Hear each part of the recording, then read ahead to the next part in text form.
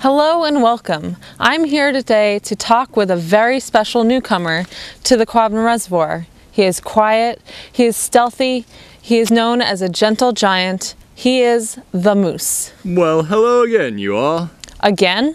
I was under the impression that this was our first time seeing you on this show. Are you kidding? My kind was here and stretched all the way down south to Pennsylvania long ago. When did you leave? Around the mid 1800s, I hear.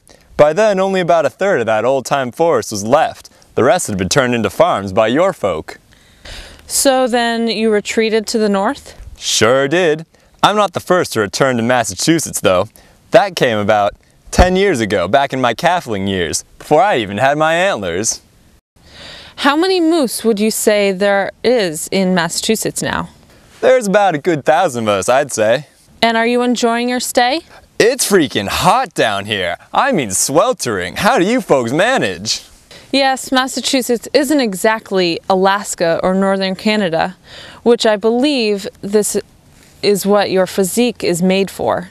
Actually, would you mind describing for the viewers the particulars of your weight and height?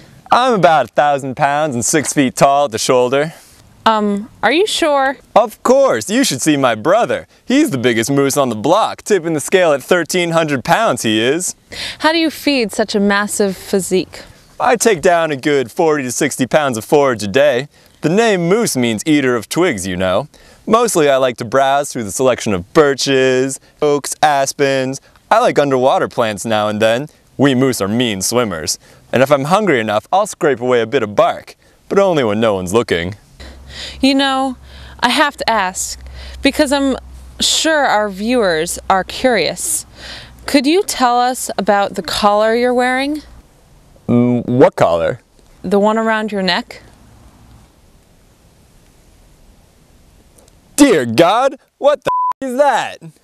Well, I think... Oh, I know. There was that time a few weeks ago when I was just minding my own business and then suddenly this hunter came up and just wham! Hit me like a little arrow in the side of the neck and everything went dark and... Yes, in fact, if not, if I'm not mistaken, that was no hunter that shot you, but a team of ecologists that are studying your return to the Quabbin.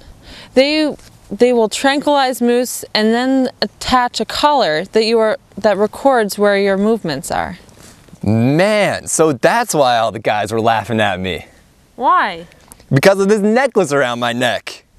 Like I said, it's not a necklace. It's well, in any case, it looks like we're at a Whoa, whoa, whoa, whoa. Hold on, man. So you're telling me that these weren't hunters out to get my fine antlers, but some ecolologollies that just wanted to put me to sleep and decorate me up?